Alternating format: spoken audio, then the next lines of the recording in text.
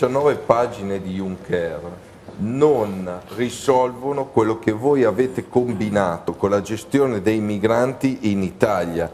Ci sono situazioni territoriali allucinanti. Guarda, noi noi abbiamo abbiamo persone, mi scusa, ti ho che- lasciato che- parlare. eh, prego. Noi abbiamo persone disoccupate, lasciate allo sbando e profughi che voi tramite i prefetti avete messo in alberghi 4 stelle. È inaccettabile questa situazione, ma dal punto di vista dell'equità e della giustizia sociale.